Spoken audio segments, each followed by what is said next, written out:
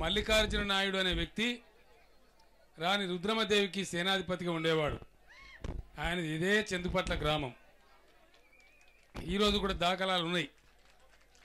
రాణి రుద్రమ కూడా ఇదే ప్రాంతంలో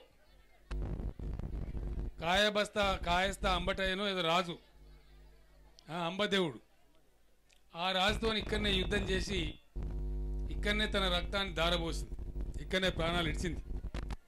దానికి గుర్తుగా ఇక్కడ శిలాశాసనం కూడా ఉన్నది. ఆ కాలంలోనే పెట్టినటువంటి విగ్రహం కూడా తర్వాత దొరికింది. ఇంత గొప్ప ప్రదేశం ఇది ఉంటే హైదరాబాద్కి ఇంత సమీపంలో ఉంటే దీని వెలుగులోకి కూడా రానియలే. అంత మరుగున పడిపోయిన చరిత్ర.